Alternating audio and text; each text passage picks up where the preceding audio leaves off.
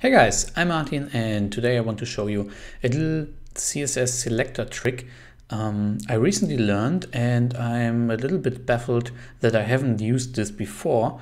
Um, yeah, and maybe I'm the only one um, or maybe uh, you will like this, this little trick or this little CSS selector um, as much as I do. So um, yeah, think of uh, a little block layout. You have a few articles beneath each other. And um, in every article, I have the HTML here in, in this CodePen. Um, you have a bunch of paragraph tags with some text.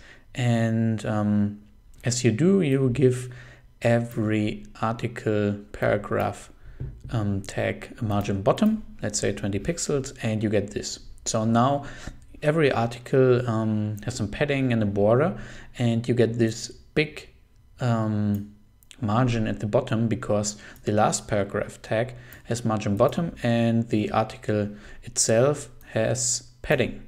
So you want to remove this last margin from the, the last uh, paragraph. So what you do is you say, yeah, in article P last child, um, margin bottom zero. So this works. I've done this dozens of times or maybe even um, uh, just this one article last child. So no matter which um, which element is the last one inside the article it has margin bottom zero so the padding is all around um, the same. But um, this is resetting some of the styles we earlier wrote. So maybe there is um, just an easier solution to that. And here comes the CSS3 not selector. So let's erase this. We get the big margin at the bottom and let's just apply the margin bottom of 20 pixels only to the paragraphs which are not the last child. So we can say p not last child.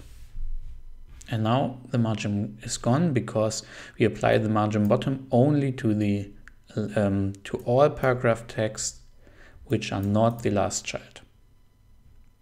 So um, I haven't tested this, but this should probably work as well. Um, let's say the last element is a block quote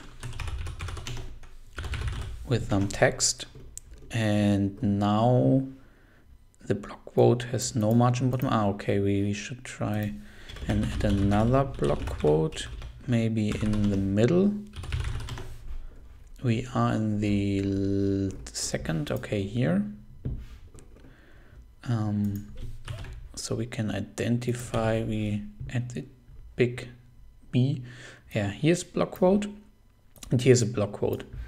And um, so every child of class article will have margin bottom of 20 pixels, but not the um, first, uh, not the child inside article, which is the last child. Okay, this sounds very confusing. So um, all of these are um, uh, direct childs of the article.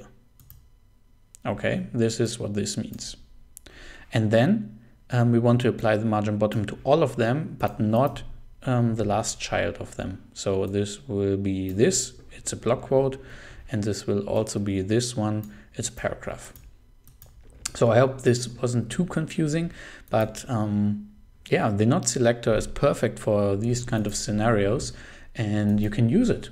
It's a CSS3 selector and it's supported in all the browsers, um, not really in IE8, but um, who's using IE8 again? I don't know. So um, yeah, I will use the not selector much more often because um, this is a very nice use case and I'm very sure there are a lot of lot of these um, in projects and I haven't seen them because the not selector was not really on my mind. So um, yeah, I hope you learned something and see you in the next video. Bye.